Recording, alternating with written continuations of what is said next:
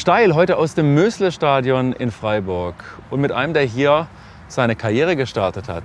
Mit Nikolas Höfler und er hat seine Frau mitgebracht, Caro Krobock-Höfler.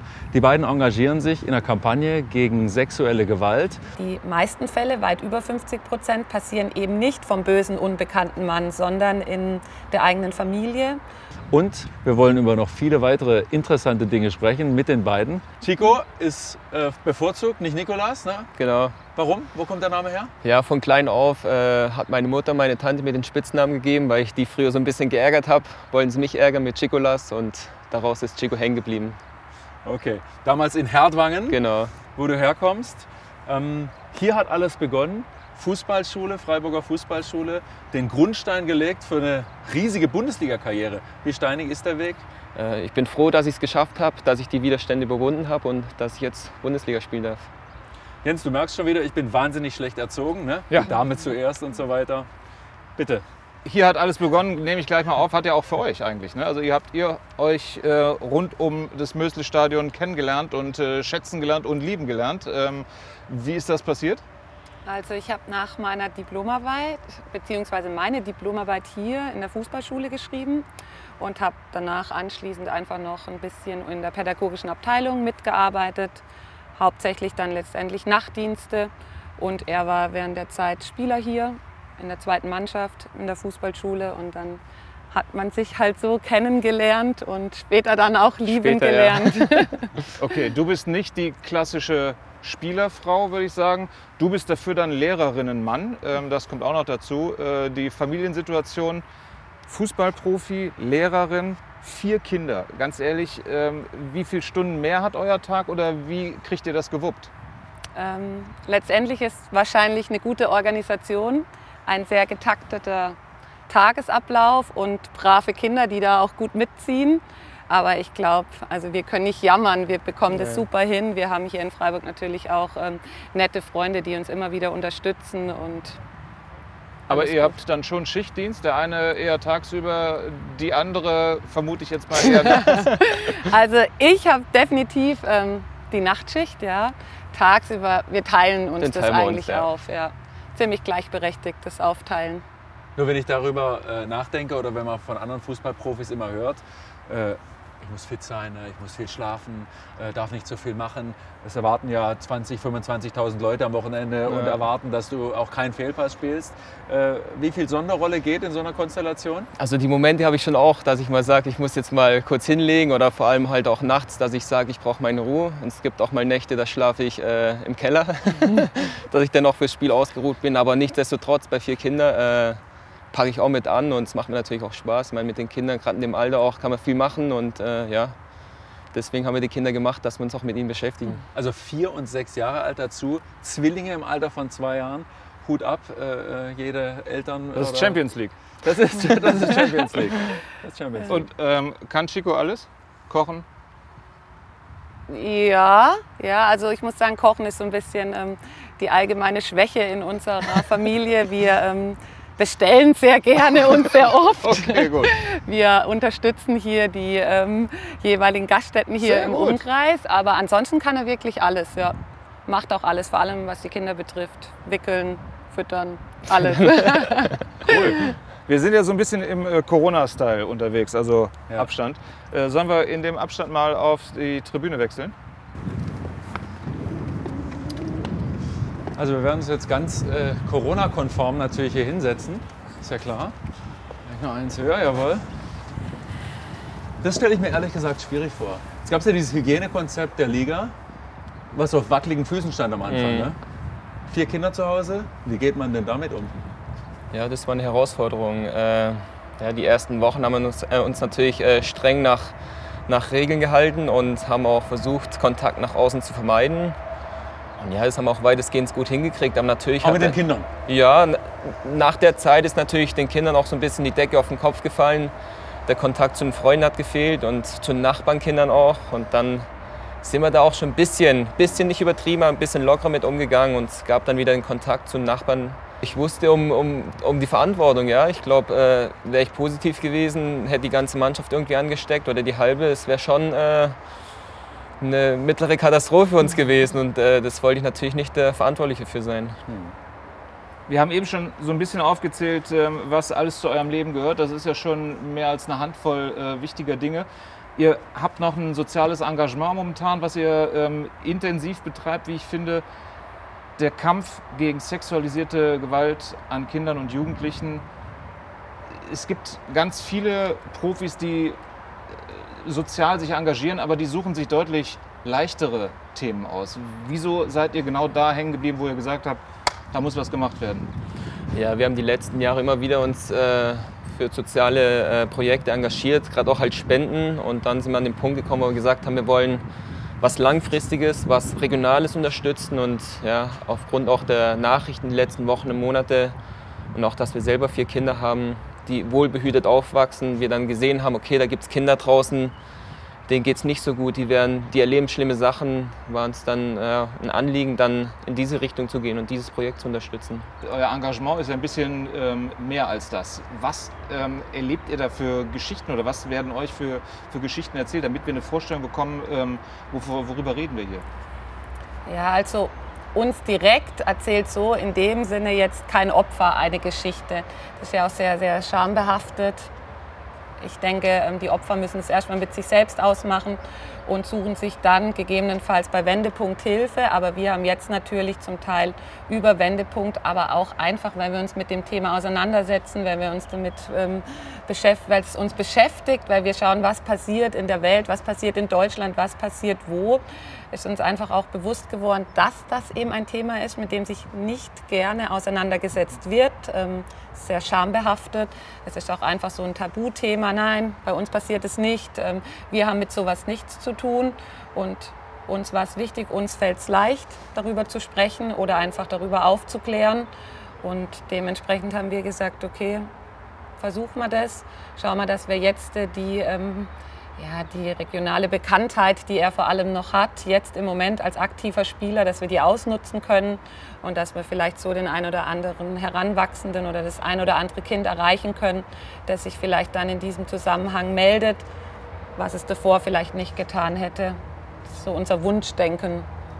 Aber du bist auch im Gerichtssaal zum Beispiel mit dabei gewesen, als es um einen ähm, Fußballtrainer aus Freiburg gab, ähm, der genau deshalb vor Gericht stand. Was, ähm, also das, das, geht ja über das normale Maß an Engagement äh, hinaus. Ich möchte nicht einfach nur, dass wir so Floskeln raushauen und sagen, hey, hört zu, engagiert euch, gebt euer Geld gegen Gewalt an Kindern, gegen sexuelle Gewalt an Kindern, sondern wenn ich dann mein Statement dazu verfasse, dann möchte ich doch auch ein bisschen Hintergrundinformationen haben. Und ich denke, man kann die einfach nur erlangen und wirklich da ganzheitlich informiert darüber sein, wenn man sich wirklich damit auseinandersetzt. Und gerade dieser Gerichtsprozess in Freiburg hat auch wieder gezeigt, ähm, wie perfide da vorgegangen ist, über wie viele Jahre da eigentlich, wenn auch leichter sexueller Missbrauch, aber ähm, dennoch in einer Häufigkeit, in einer Vielzahl stattgefunden hat. Es hat ähm, niemand bemerkt, weder die Eltern noch der Verein, die Verantwortlichen im Verein, noch wahrscheinlich Familie und Freunde des Täters, einfach niemand.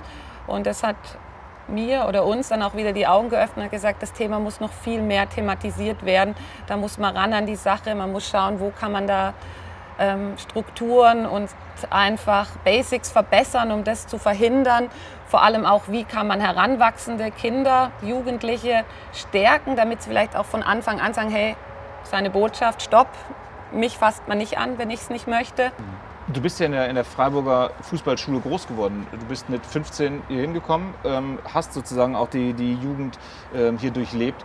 Ähm, dann kannst du das vielleicht sozusagen nochmal aus einem, aus einem anderen Gesichtspunkt auch noch mit aufnehmen, wie schwierig das tatsächlich sein könnte, äh, wenn es zu so einem Fall kommt. Was, was ist das für ein, für ein Komplex Fußballschule, das Verhältnis Ausbilder oder Trainer und ähm, äh, Kinder?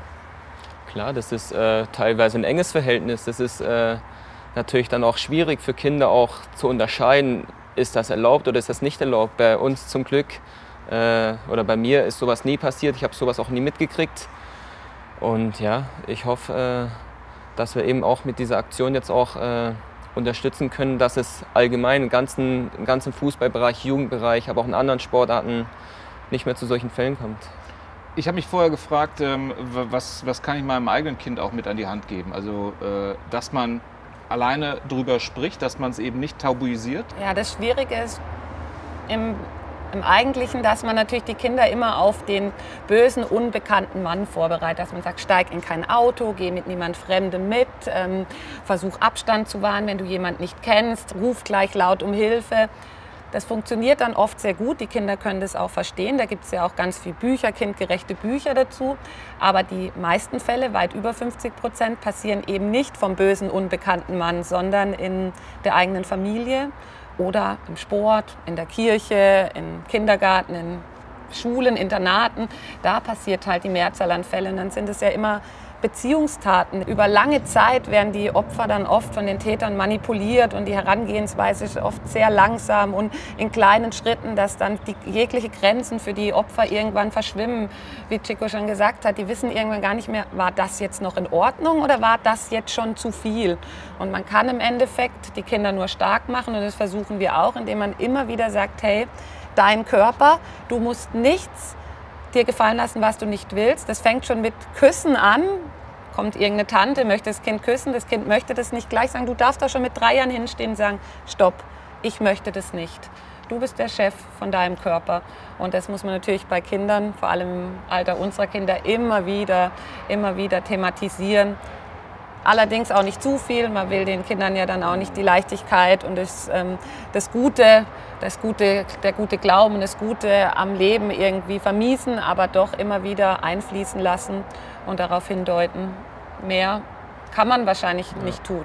Hm. Verhindern lässt sich nicht. Die Täter, die gibt es, die, wird's, die hat es schon immer gegeben, die wird es auch immer geben. Da können wir nicht viel dran ändern, aber wir können die potenziellen Opfer vielleicht so stark machen, dass sie gar nicht erst Opfer werden. Du suchst ja, klingt äh, hier ja auch schon deutlich raus, dir genau aus, was du wie sagst, wo du es präsentierst. Ich stelle, also ich möchte nur den Aspekt Social Media ähm, äh, kurz ansprechen. Man kennt so ähm, das äh, klassische Vorgehen einer Freundin oder eines, einer Frau eines Fußballers, wenn der nicht genügend Einsatzzeit bekommt. Ähm, Gibt es vielleicht mal einen Kommentar von einer Spielerfrau, du lachst schon. Hältst du dich da ganz raus? Ist es manchmal schwer, sich da in dem Thema zurückzuhalten, weil das gehört ja mittlerweile alles dazu? Wir haben unsere Kanäle, meine sind gesperrt, die sind nur für Freunde zugänglich. Ich poste auch immer mal wieder Familienbilder darauf. Darum war es mir erst recht wichtig, dass wirklich jeder, der mir da folgt, von mir genehmigt wurde. Und darum kann ich da jetzt überhaupt gar nicht diesen Kanal nutzen, um irgendwas loszuwerden, was ich gerne würde. Aber gerade auf deine Frage hin, also in seine Fußballsachen mische ich mich nicht ein. Ich glaube, wir können uns jetzt bis jetzt auch nicht über mangelnde Einsatzzeiten beschweren. ähm, ja, das ist einfach seine Sache. Wir reden zu Hause über seinen Tag, über meinen Tag, ja. über Fußball. Aber ihm geht es ja auch gut. Ne? Ihm geht es einfach gut in Freiburg. Er beschwert sich auch nicht das jetzt. gäbe auch Ärger, sagst du? Ja, also, ja nee. Genau, aber ja. mein Gott, du weißt ja selber, wie schnell so ein, so ein Post sozusagen rausgeschickt ist.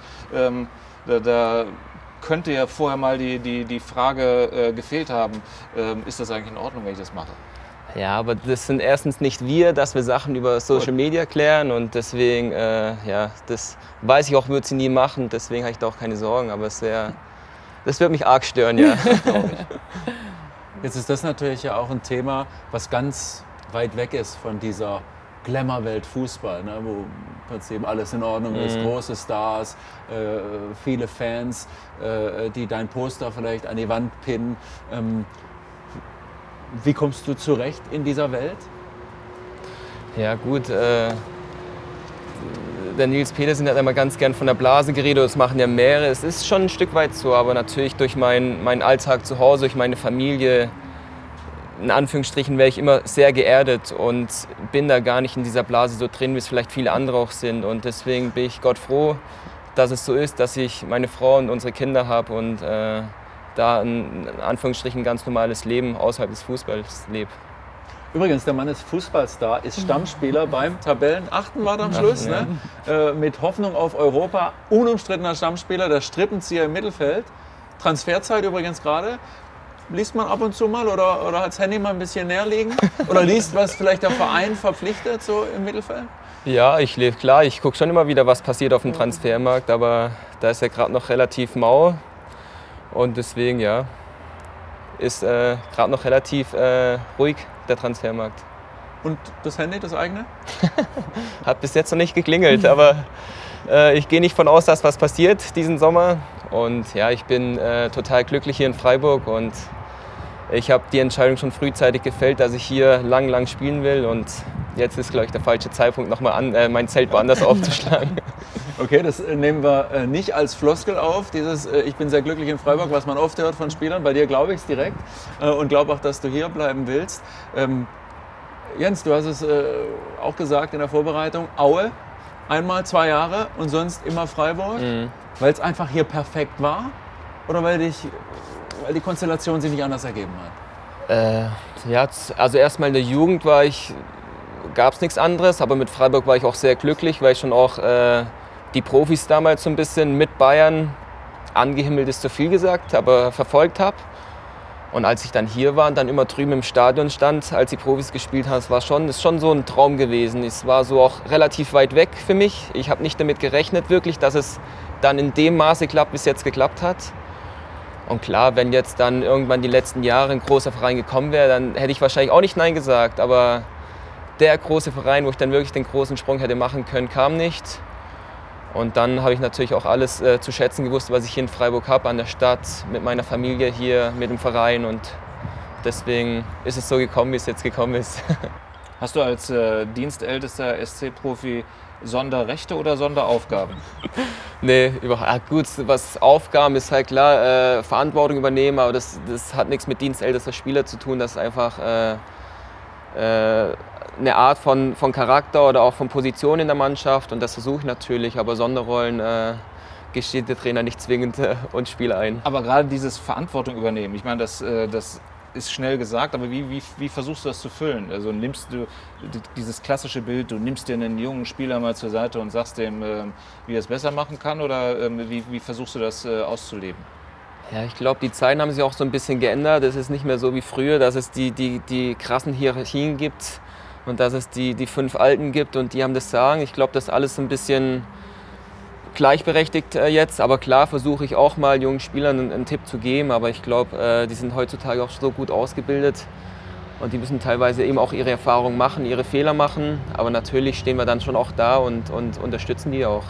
Aber dann geht es natürlich auch darum, äh, am Spieltag auf dem Spielfeld Verantwortung zu übernehmen und dann äh, versuchen, so gut es geht, äh, die Mannschaft beisammen zu halten und für einen Erfolg zu kämpfen.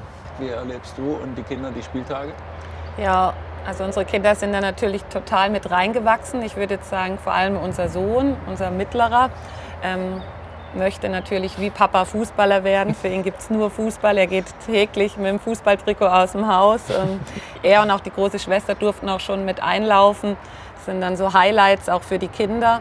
Ansonsten sind wir eigentlich, wenn Corona nicht ähm, über den Stadien herrscht, sind wir immer im Stadion, zumindest immer bei jedem Heimspiel im Trikot die Kinder mit Fähnchen und Schal in der Hand. Also ja, das ist ja eigentlich für uns die einzige Möglichkeit, ein bisschen an diesem Leben dran teilzunehmen.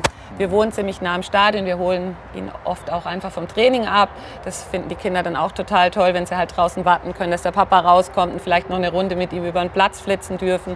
Aber sonst ist es ja so, dass die Mannschaft ja doch total abgeschottet ist und dass da dann auch ähm, Frauen oder überhaupt die Familie wenig dabei zu suchen hat. Und die Spieltage ermöglichen uns halt dann doch mal mitzugehen.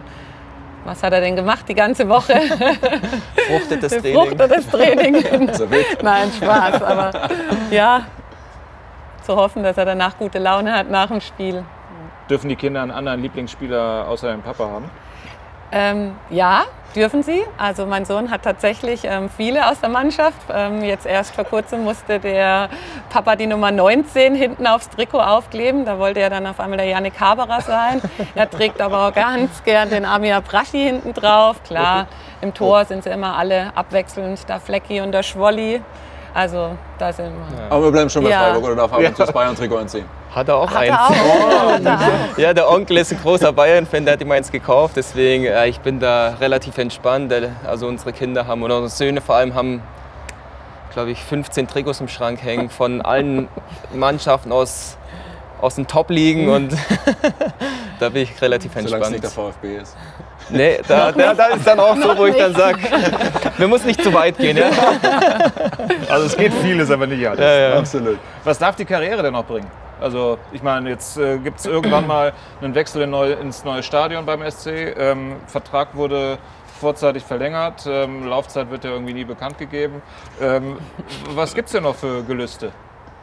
Ja, ich glaube, jetzt äh, die vergangene Saison haben wir relativ erfolgreich gespielt, aber sind an den internationalen Plätzen so ein bisschen vorbeigeschrammt, ganz knapp. Und ich glaube, das wäre schon nochmal ein Highlight, dass wir hier als kleines SC Freiburg in der Bundesliga, wo alle Mannschaften noch mehr investieren und noch mehr Investoren haben, dass wir da äh, zeigen, dass wir richtig was drauf haben, dass, wir, dass es nicht immer dieses ganz große Geld sein muss, sondern dass es auch über harte Arbeit, über, über Zusammenhalt, über Charakter auf dem Platz äh, erfolgreich sein kann und auch international spielen kann. Das wäre schon nochmal so ein bisschen ein Wunsch, sag ich mal, äh, mit Freiburg noch mehr international zu spielen. Dann vor allem auch im neuen Stadion dann. Caro, ich frage dich, nach der Fußballerkarriere, wie darf es dann ähm, weitergehen mit dem Mann? Äh, Familie habt ihr genug? Äh, also da gibt es schon genügend Wer. Arbeitsfläche. Äh, oder noch eine Sportlerkarriere obendrauf, Trainer, Manager. Also man kann nie genug Familie haben.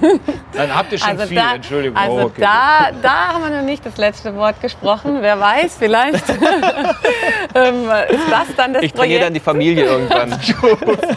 Nein, ähm, also ich weiß, dass sein Wunsch ja prinzipiell ist, dass er auch nach der Fußballkarriere einfach dem Fußball treu bleiben kann. Das würde ich mir tatsächlich auch für ihn wünschen. Ich ähm, kann mir im Moment nicht vorstellen, dass er da viel Freude in einer anderen Tätigkeit findet. Ich würde mich sehr für ihn freuen, wenn sich vielleicht hier in der Fußballschule vom SC Freiburg oder auch drüben irgendeine Tür für ihn öffnet und er dann damit einfach auch bis zum Lebensende eigentlich dem Fußball treu bleiben kann. Aber bevor wir da so richtig drüber nachdenken, hoffen wir eigentlich noch auf ne, fünf Jahre. Ja, mindestens. Ja, mindestens. ja. Gut, Im Optimalfall. Im Optimalfall. Oder noch mehr dann. haben wir nichts gegen. Im zentralen Mittelfeld ist es ein sportliches Ziel. Ja, nee, heutzutage ist es ja, äh, kannst du nicht vorhersagen, wie, wie lang es geht. Ich, ich habe jetzt noch einen Vertrag bis.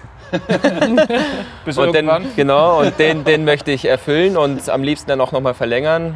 Aber mir ist bewusst, äh, dass es heutzutage schwierig wird, bis 40 zu spielen. Und äh, deswegen bin ich realist genug und möchte jetzt die nächsten paar Jahre auf jeden Fall noch Gas geben und dann schauen wir weiter. Wir machen noch mal eine kurze äh, Expressfragerunde, habe ich mir gerade so spontan überlegt. Lieblingsmitspieler? Also auf dem Platz oder so in der Kabine? Beides. Ich wäre für Kabine. Nils, Nils Petersen. Platz? Ja, das ist schwierig. Äh,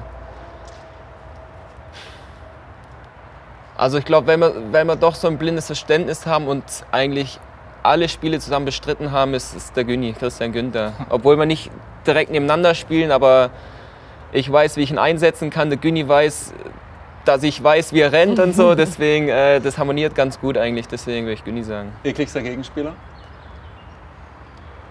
Also nicht von der Zweikampfherde, sondern einfach von der fußballerischen Qualität. Thiago, das war schon Hoffentlich wird schon- er verkauft. Ne? Ja, das ist so. Ich glaube, für die Bundesliga wäre es vielleicht ganz cool, wenn er bleibt. Ist ja nicht so, dass Bayern dann äh, der nächste Jugendspieler hochzieht. Sie werden dann auch wieder einen guten Spieler dafür holen. Deswegen, ich fände es schön, wenn er bleibt, weil es doch auch Inspiration für mich selber auch ist und glaube ich für alle anderen, wenn man sieht, dass solche Top-Spieler in der Bundesliga sind. Lieblingsspiel, das du je gespielt hast? Oh. Das Ja. ist das Bundesligator gegen Bayern? Ja, klar, das war das Tor, aber Lieblingsspiel würde ich eher sagen, wo ich wirklich gut gespielt habe. Da habe ich gar nicht gut gespielt. Äh, Deswegen äh, kann ich dir so spontan gar nicht sagen. Muss mich nächstes Mal früher darauf vorbereiten. Sehr gut. Ähm, Gibt es ein Lieblingsspiel, eine Lieblingspartie, die man verfolgt hat auf der Tribüne, wo wirklich das Herz bis zum Hals geschlagen hat? Ich weiß nur, dass unser Sohn ständig sagt, Alexa, spiele das Spiel SC Freiburg gegen Leipzig. Und er jubelt dann jeden Tag aufs Neue, wenn Alexa sagt und oder beziehungsweise der Sprecher, der Kommentator in Alexa, Torschütze Nikolaus Höfler. Somit also eigentlich auch das einzige Spiel, was ich jetzt so im Na, Kopf mir ist jetzt eins eingefallen, äh, in der zweiten Liga gegen Leipzig zu Hause. Äh, da war dieses Schneespiel. Ja. Mhm, Genau. Das war, das Montags ist so, sowas, ne? Ja, das, genau, ich, ja, das war, das ist schon im Kopf geblieben dann. Nils eingewechselt, Tor, ne? Im Schnee. War das nicht so? Äh, nee, Nee, war- Flo ich Niederlechner hat das. Tor gemacht. Ich Ah, Niederlechner, der, natürlich. Der, Niederlechner, der ja. Nils hat es, glaube ich, vorbereitet. Ja. Und das hat auch brutal Anklang auch so in der Stadt gefunden. Das war Wahnsinn, was das, äh, wie das ankam, das Spiel. Das ist einem selber gar nicht so bewusst gewesen und zum Nachhinein muss ich schon sagen, das war ein Highlight auf jeden Fall. Gibt es Freundschaften im Profifußball? Ähm, ja, ja, wahrscheinlich in Freiburg auch noch ein bisschen leichter ähm, zu halten auch, ähm, weil jetzt zumindest in Freiburg zum Beispiel eben, wir sind sehr viel mit Nils Petersen unterwegs. Seine Freundin kommt hier aus der Gegend, die wollen sich hier ja auch langfristig niederlassen. Darum, da kann man sehr gut einfach die Freundschaft führen und auch halten. Alexander Schwollow kennen wir einfach schon ewig. Der war ja auch hier in der Fußballschule, sowohl ich als auch er kennen ihn ewig. Hat auch seine Lebensgefährtin hier aus Freiburg. Also ja, wir haben Freunde im Fußball, aber wir haben auch tatsächlich ganz, ganz, ganz viele Freundschaften außerhalb vom Fußball, was dann eben auch wieder dazu führt, wie er vorhin gesagt hat, dass es einen einfach erdet, wenn wir dann mit dem Fahrrad an die Dreisam fahren und da einfach auf dem Boden sitzen und die Kinder da in der Dreisam spielen, so wie es halt alle anderen Kinder auch machen. Das hat dann so gar nichts mit Fußballprofi zu tun, sondern wir sind halt einfach so wie alle Ökos in Freiburg unterwegs sind. Nicht alles in Ökos. Kann der Papa gut verlieren? Bei Mensch, Nein, ärgere dich nicht zum nein. Beispiel? Also er kann, ist allgemein gut nicht, so. er kann allgemein nicht gut verlieren. Ich finde, die Kinder haben ihn sehr runterfahren lassen. Das ähm, kann man wirklich sagen. Durch die Kinder steigert er sich nicht mehr in viele Sachen so rein. Früher, ganz am Anfang, der kam zum Teil vom Training nach Hause und hat sich geärgert, dass er verloren hatte. Wo ich schon dachte, wie kann man sich immer wieder ärgern, wenn man im Trainingsspiel verliert. Und ähm, durch die Kinder ist es viel, viel weniger geworden, weil er einfach auch heimkommt und dann gleich andere Themen um sich hat und abschaltet, bis er dann am nächsten Tag wieder aus dem Haus geht. Allerdings Spiele, würde ich sagen, ja, da braucht er doch immer noch mindestens eine Nacht, wenn nicht sogar zwei, um drüber wegzukommen. Lässt du die Kinder mal gewinnen? Ja, doch. Aber nur weil sie so schlecht mit noch schlechter umgehen können mit Niederlagen teilweise. Dann, dann vorbei die frühzeitige Ärger daheim. Sehr gut. Herzlichen Dank, Caro und Chico. Wir müssen zum Ende kommen, denn Caro hat heute noch was vor. Die Schule ruft. Die Schule ruft, ja. Und da waren da ja noch vier Kinder irgendwann. Ne? Stimmt, richtig, Ja, richtig. Also der Tag ist komplett voll. Herzlichen Dank für eure Zeit. Danke auch. Und äh, schön, dass ihr euch so engagiert. Finde ich klasse. Und viel Erfolg weiter mit dem Projekt und natürlich auch fußballerisch. Vielen Dankeschön. Dank. Danke. Steil, der SWR Fußball Podcast. Hier könnt ihr ihn abonnieren und hier könnt ihr Nils Petersen sehen.